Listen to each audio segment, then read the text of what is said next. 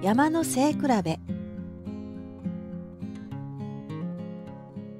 昔八ヶ岳はとても高い山でした。富士山の女神は自分が一番高いと信じていました。でも八ヶ岳も自分と同じくらい高いです。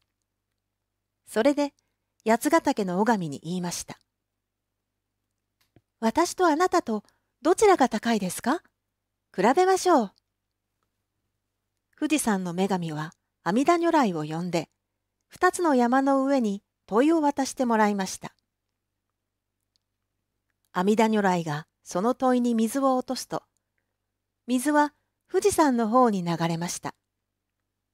やった私の方が高い八ヶ岳の女神は喜びました。